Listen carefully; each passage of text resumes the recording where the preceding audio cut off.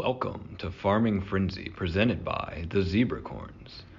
A storm is brewing, and two alliances of farmers must race to deliver crops to silos and farmers' markets, process crops in mills, and fortify the silos all before time runs out. Each alliance has three home silos, each of which is centered in its own plot. Crops are available to be stored in the silos or in any of the three neutral farmers' markets, which are suspended from the truss. Crops are also available in grain beds along the sides of the field. Above the truss are five additional mills. Robots are set on the field along the Alliance Station wall with one preloaded crop.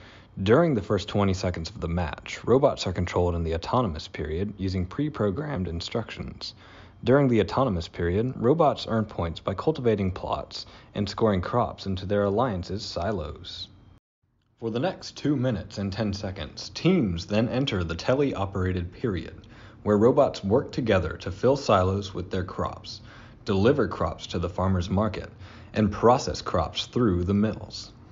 Alliances can earn points for having either a majority or a minority in any given silo or market.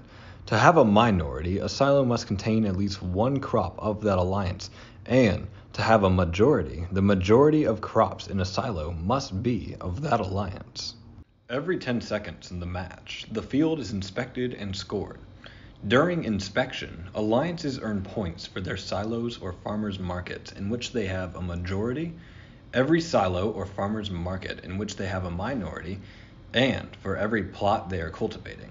Either alliance can also gain points from mills. There are a total of 13 inspections during the tele-operated period. Robots can also score points by sending crops through the mills from the opposing alliance's side of the field. Robots gain bonus points for scoring in mills simultaneously and can earn a ranking point for scoring 45 points in the mills. At the end of the match, robots rush to secure their silos by placing a slab on top. Robots can also earn extra points for collaboration when placing their slabs. Alliances that have all three slabs on their silos by the end of the match earn a ranking point. When the match is over, the alliance with the most points wins the match.